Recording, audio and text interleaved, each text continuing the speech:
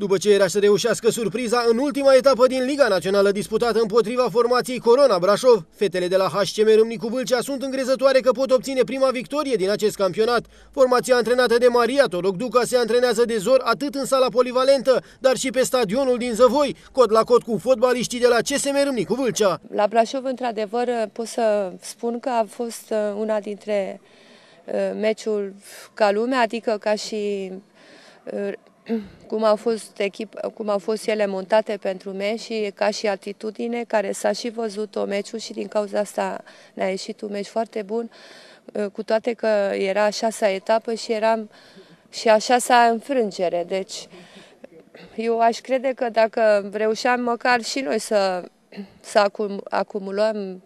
vreo șase puncte, atunci chiar puteam să zicem că echipa este pe un drum bun. Dar, din păcate, etapele au trecut foarte repede și,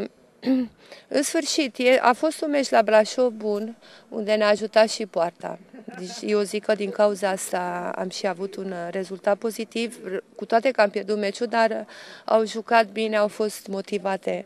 ca și atitudine și dacă vom continua și sper că acest meci de la Brașov să, să fie un imbolt pentru ele și să realizeze, fiindcă